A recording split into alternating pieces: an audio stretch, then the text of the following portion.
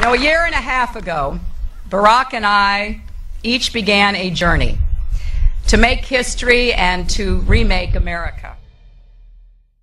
On Sunday, November 4th, late in the day, CBS quietly posted an odd video. It was a suppressed excerpt from an interview conducted with Barack Obama almost two months before on September 12th, shortly after he had made comments about the attack on the Benghazi consulate in the Rose Garden. Since our founding, the United States has been a nation that respects all faiths. We reject all efforts to denigrate the religious beliefs of others. But there is absolutely no justification to this type of senseless violence. The clip clearly shows Obama doing two things. One, refusing to call the attack on the Benghazi consulate terrorism, which contradicts his statement in the second presidential debate that he called it a terrorist act from the beginning. Mr. President, this morning uh, you went out of your way to avoid the use of the word terrorism in connection right. with the Libya attack. Right. Do you believe that this was a, a terrorist attack? Well, it's too early to know uh, exactly how this came about, what group uh, was involved, but obviously uh, it was an attack on Americans. And uh, we are going to be working with the Libyan government to make sure that we bring these folks to justice. Uh, one way or the other. Should we get that for the record? Because it took the president 14 days before he called the attack in Benghazi an act of terror. Get the transcript. It, it, it, he did, in, in, fact, sir. So let me let me uh, call it an act of Can terror. Can you say that a little louder, Candy?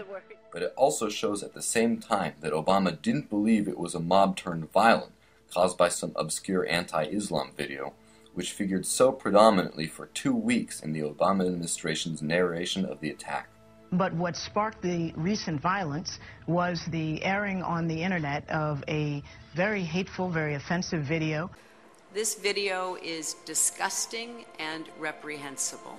That is what we saw play out in the last two weeks. It a crude and disgusting video. Sparked outrage throughout the Muslim world. It's been described as a mob action but there are reports that uh, they were very heavily armed uh, with grenades. As, as I that said, doesn't sound like your normal demonstration. Right. As I said, we're, we're still investigating exactly what happened. I don't want to jump the gun on this. Keep in mind that when Obama gave this interview, as we later learned, he had watched the attack in real time with live video from a drone from the beginning. Then he had received several emails that went directly to the Situation Room beginning less than an hour after the attack, describing the attack as terrorist, even naming the group, Ansar al-Sharia, as responsible.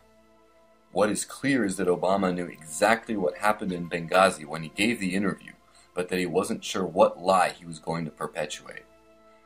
When it was decided that the administration would blame a mob rioting over an obscure anti-Muslim video, the portion of the 60 Minutes interview that didn't agree with his story needed to be suppressed.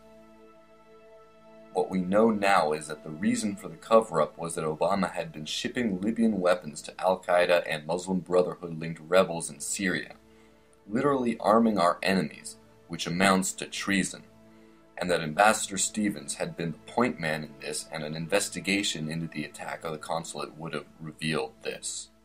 I believe that much of this will come back to weapons and the movement of weapons out of Libya to Turkey and then into Syria and what the United States knew about the movement of those weapons and whether it did anything to stop the movement of those weapons. I have one piece of data that says Ambassador Stevens was in Benghazi on 9 11 to negotiate a weapons transfer to get these SA 7s out of the hands of. Astonishingly, in April of 2012, that same Jew hating, Christian hating Muslim Brotherhood was welcomed into our country, the United States of America, into our capital, Washington, D.C., by President Barack Hussein Obama.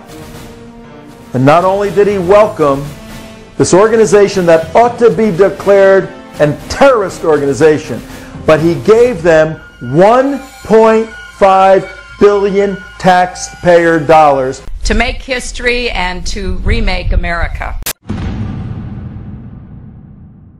And it's time that we do not provide military aid, abetting, and assistance to people that want to destroy Christians, that want to destroy Israelis, and that want to put the world in turmoil and have everyone living exactly as they dictate.